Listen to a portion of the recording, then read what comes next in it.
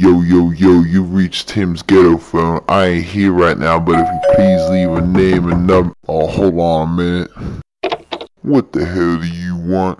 I've fallen, and I can't get up. Yeah, well, fall on this.